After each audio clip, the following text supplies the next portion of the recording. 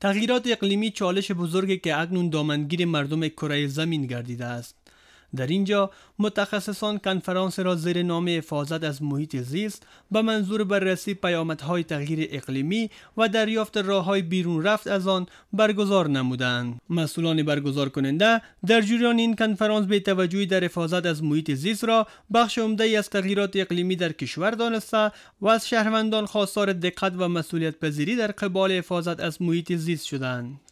اسلام 1445 سال پیش با احادیث و آیات سره ما را در حفاظت از آب آب که می نوشیم و آب عادی ما تاکید می نقش چونین کانفرانس های حداقل می توانیم راهگشاست راهبر است و به نحو نشان می دهد که جهان را چی چیز در واقع به تهدید قرار داده است و ما در برابر آن چی مسئولیت داریم. از سوی هم برخی از اشتراک کنندگان تولید گازهای ای را از سوی کشورهای بزرگ صنعتی در قسمت تغییرات اقلیمی تاثیرگذار دانسته می‌گویند.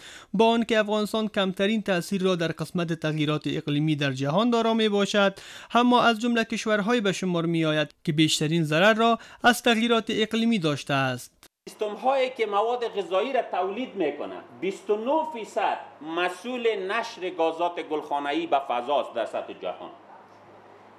اونمو درایورها یا اونمو قوه های محرکه که وابسته است با تولید مواد غذایی.